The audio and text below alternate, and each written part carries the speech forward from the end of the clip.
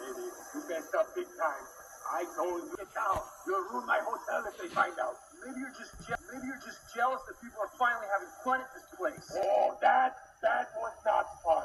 Everyone running, jumping, swimming with no order. That was the opposite of fun. Do you even know what, know what fun is? I invented fun. Boy, the wrong people get to be immortal.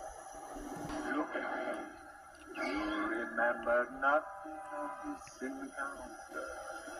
You have no memory of this place or the monsters who met. Now go and never return. Wait, never return to the hotel? Right, all right. You were supposed to forget the hotel. I just used my power to erase your memory. I looked straight into your eyes. Huh. Your eye. Huh. Oh, maybe it's the contact lens. What? These little plasticky doodads get him out real quick. Oh, that is, oh, that is the most disgusting thing I've ever seen. You almost got it. Stop doing that. Stop doing that. Fingers away from the eyeballs. Enough.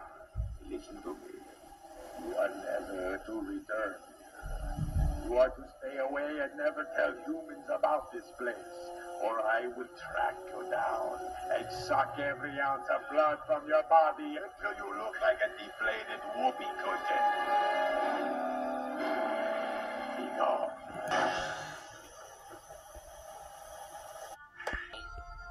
could have been so great. You ruined everything. Suck my blood. Should have said, I'm staying, old man.